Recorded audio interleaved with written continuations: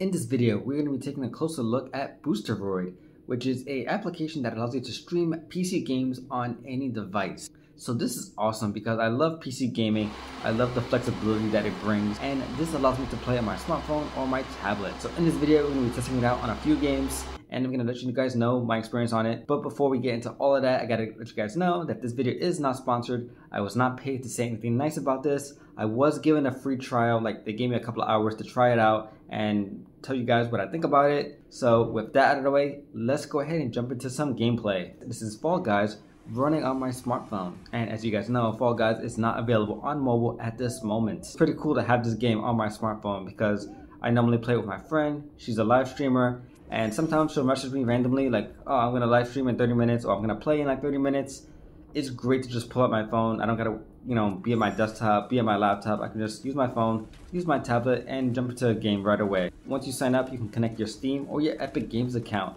And you can't play every single game on your account, but you can play a good amount. But one thing that I was really interested about this service is that I can play Fall Guys which you can't do with NVIDIA GeForce and you can't do it on Xbox Game Pass. So Fall Guys might be a little bit of a weird game to test out with this service, but it's actually a pretty good example because it's an online game, there's a lot going on, and you need that accuracy. Because if you're not accurate, you will fall a lot. And that's what happened. So the game is running at 1080p, 60 FPS, which is a little bit of a downgrade to what I'm normally playing Fall Guys at. Normally I play at 1440p at like over 100 FPS.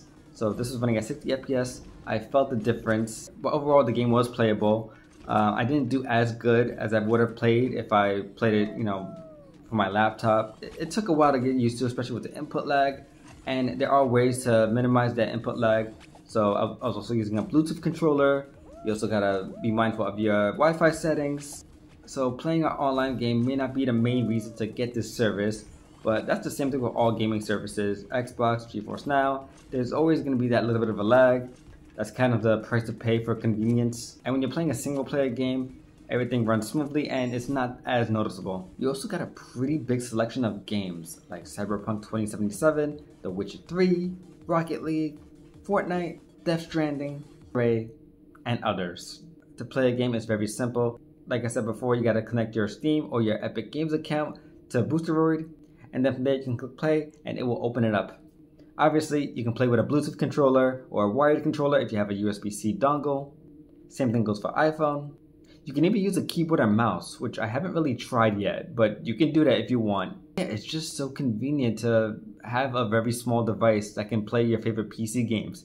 It may not be the most ideal for certain multiplayer games, but so I've been using cool. this service for a few weeks and I'm glad I didn't post this review right away because I discovered a way that you can play even more PC games like Grand Theft Auto, Diablo 4, NBA 2K, a lot of the top new games, Uncharted, Spider-Man, some of the biggest PC games are playable with Boosteroid.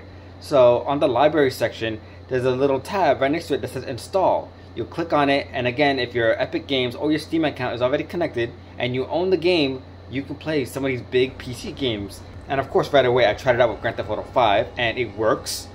I was pleasantly surprised. So I'm glad I waited to post this review because uh, my review has changed. At first, I was like, okay, it's okay, it's fine.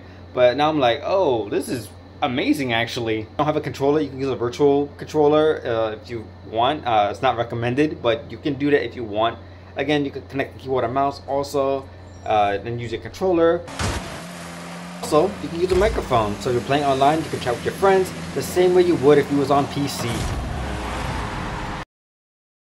So it's pretty awesome for the price and the convenience, but I know it's not like Xbox Games Pass where they let you play free games. With this service, you have to own the game before you can play it. So that might be a downside to some people, but for someone like me that I had Steam and Epic for years, I got plenty of games to play. Anyway, that is it for this video. Let me know what you think in the comments below and hit the subscribe button because I got plenty more videos coming soon.